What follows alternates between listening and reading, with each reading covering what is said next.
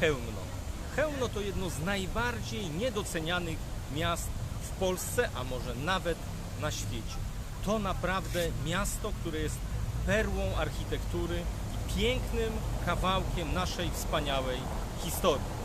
E, To stolica ziemi chełmińskiej, bo o tym, że jest ziemia chełmińska wszyscy słyszeliśmy, ale niewiele osób kojarzy, że właśnie Chełmno jest i pozostaje historyczną stolicą ziemi chełmińskiej, choć oczywiście na ziemi chełmińskiej jest wiele innych ważnych, o wiele bardziej znanych miast, chociażby takich jak Toruń. Dlaczego Chełmno było takie ważne i dlaczego jest to taka perła naszej historii niedoceniana ciągle e, cały czas, niestety.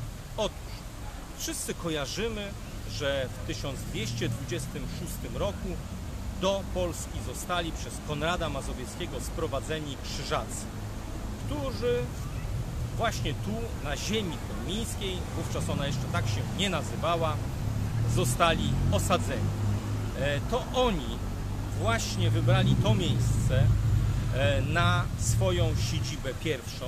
Tutaj była pierwsza konturia, właśnie w Chełmie. Sama nazwa Chełmno to bierze się od słowa wzgórze. Chełm to wzgórze. W związku z tym na wzgórzu nad piękną Wisłą miasto usytuowano i to ono właśnie stało się stolicą tych ziem. Tutaj była pierwsza konturia, pierwsza stolica e, zakonu krzyżackiego na tych właśnie ziemiach. Potem e, pojawia się także tutaj siedziba diecezji. Diecezja chełmińska funkcjonowała przez lata, aż do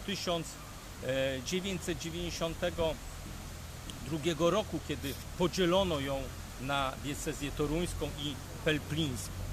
Właśnie Chełmno stało się tym centralnym miejscem e, siedziby, pierwszej siedziby Krzyżaków i stolicą e, ich państwa początkowo.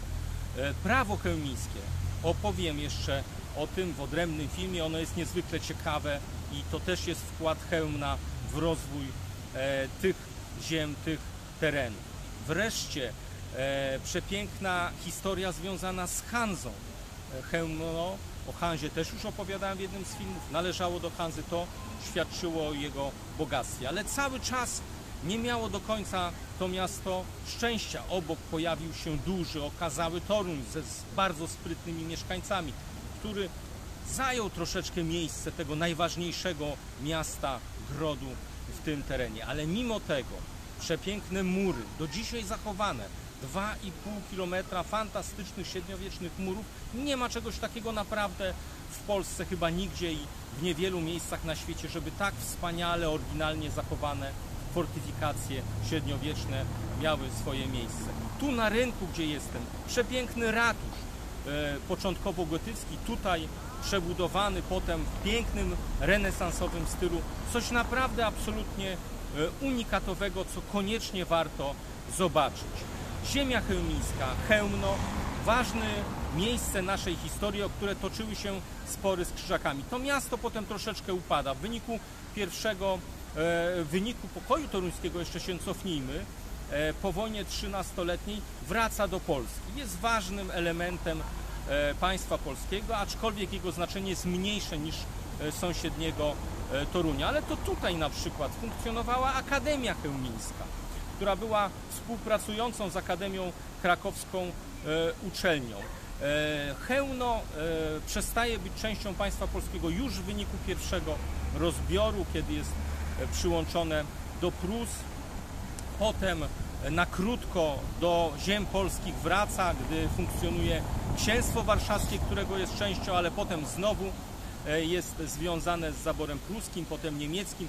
Dopiero w roku 1922, podobnie jak Pomorze, jak Toruń, wraca w wyniku traktatu wersalskiego do Polski, stając się ważnym elementem e, państwa polskiego, siedzibą władz, e, chociażby e, powiatowych. Tak jest zresztą do dnia dzisiejszego. Dziś to niewielkie miasteczko, około 20-tysięczne, niestety odwiedzane przez zbyt małą ilość turystów.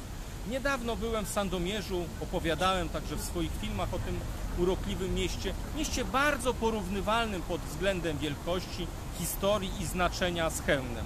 Tam mnóstwo turystów, e, serial Ojciec Mateusz spowodował niezwykłą popularność tego miasta. Chełmno niestety nie doczekało się mody na to, aby je odwiedzać, a warto e, to robić. Będę się starał jeszcze w innych filmach Państwa do tego zachęcać.